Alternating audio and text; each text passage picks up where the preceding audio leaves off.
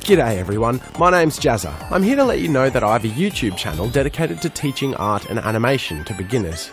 I release three videos every week an artist showcase where I share art Newgrounds users have sent to me and pick one every week to go on the Newgrounds front page. I release weekly speed painting videos, and finally, weekly video tutorials covering all kinds of things like drawing tips, animation technique, skills for programs like Photoshop and Flash, and much more. If you're interested, make sure to subscribe. If not, sorry for taking up your time. Here's a dancing monkey.